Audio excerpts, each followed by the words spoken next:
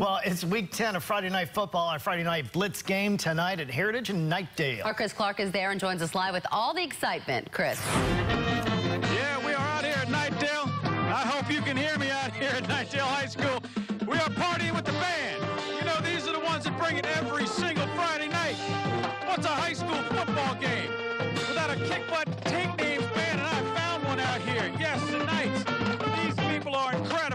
about some hard practicing too, and they've got everything. Watch them this way. Go ahead, check it out here. Watch what these guys do, what these gals are doing. It's awesome.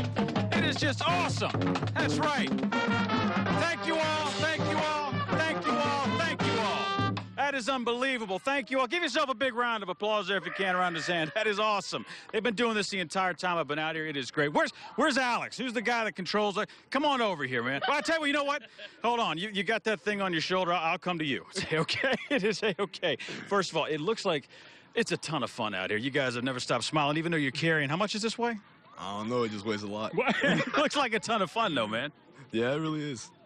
How much hard work goes into this? I mean, it's not just out here. I mean, it looks easy, but I know, I know you all are out here for hours putting in some work. Definitely. After school, we be here Monday, Tuesday, Wednesday, Thursday, Friday, out in the heat, in the sun, in the football field. Sometimes we also kind of come on Saturdays, a whole day in band camp. Oh. But it's a lot of fun. It's a lot of hard work. But You're giving up a Saturday for this. That that's that right there is is uh, sticking to it right there. And it's not just out here on, on game night, and it's not just uh, out here in the parking lot hanging out with yours truly. You guys taking the music to the community too. Yeah, sometimes we go to elementary schools. Like we play for all the little elementary schoolers. Like we play like every section will come up with a really fun song. Like flutes would play SpongeBob, or tubas would play Pink Panther or something, and the kids will go crazy. They'll start screaming, cheering, and clapping along with us. Oh, dude, that's got to make you feel 10 feet tall and bulletproof. You can't tell me it doesn't. Yep, definitely makes you feel good. Now, I know that uh, you've got some uh, thoughts on tonight's game. Uh, who, who's taking this thing?